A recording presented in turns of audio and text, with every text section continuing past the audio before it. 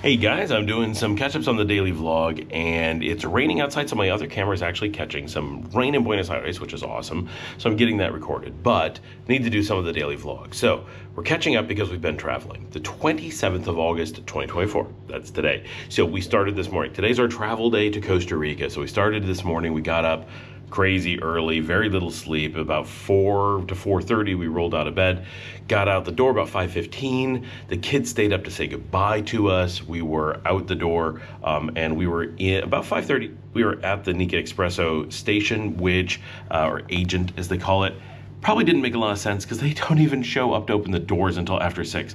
Technically, they tell you you're supposed to be there at 6 to catch the bus. Most people show up about 6 and are still waiting. Then the agent shows up, opens the place the agent the agent C took down their sign and moved like one door over so we couldn't find them so we were panicking a bit. But they did show up a little bit after six got our tickets no problem got on the bus. Nicely air conditioned very comfortable no problems at all. Very good trip. Border only took an hour. We were the last stragglers going through because it was the first time on our new uh, residencia so they just had to fill out some paperwork. So we were actually the slow ones this time.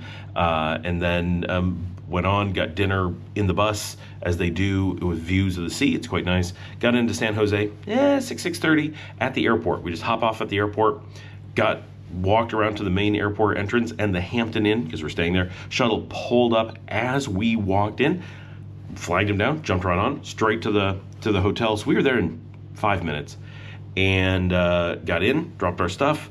Dominica didn't want to like you know, settle in, wait, get sleepy, and then go out to dinner. So we just ran right out the door, grabbed an Uber, and went to the Taj Mahal nearby in Alajuela and uh, uh, got delicious dinner there. Really liked the Taj Mahal, very happy with them. That's my second time eating there this year. Uh, last time was on my way to Bolivia and uh, once dinner was done, we were the last ones there, closed the place down. So that's important to know. Had we waited, everything would have been closed there. Something would have been open in Alajuela, but it's not a great area for super late night dining. Denny's is right there 24 hours, so you're not going to starve, but who wants to go to Costa Rica and then be like, yes, Denny's?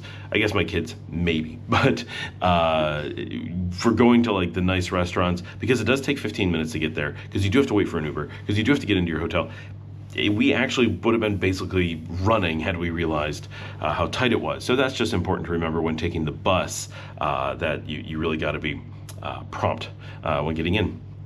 And then uh, it was it was off to bed. So a uh, long day. We have to be up early tomorrow for our flight to Panama, and it's exhausting.